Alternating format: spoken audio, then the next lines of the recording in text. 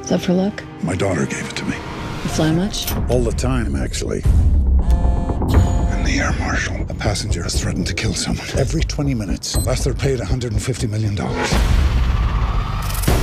The account number you gave us is in your name. That doesn't make any sense. An international flight has been hijacked by an air marshal.